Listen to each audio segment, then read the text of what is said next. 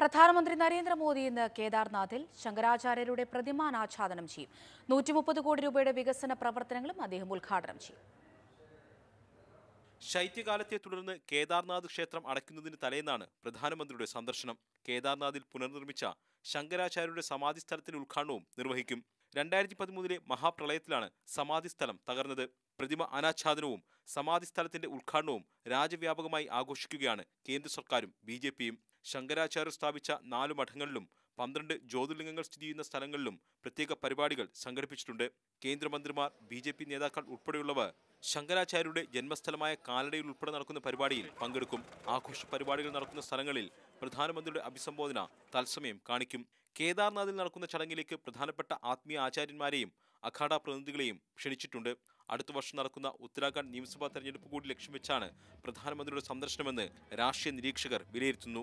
Mathrubhumi news Delhi.